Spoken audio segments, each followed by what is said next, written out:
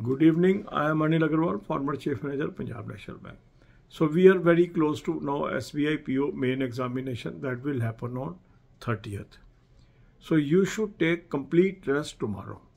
So 29th of January should be taken as a complete rest day for you and then you appear for the examination. God bless you all. अब यही बातें हम हिंदी में करेंगे S B I P O का exam हमारे सिर पे आ गया तीस तारीख को ये एग्ज़ाम है उनतीस जनवरी को आप कंप्लीट रेस्ट करें।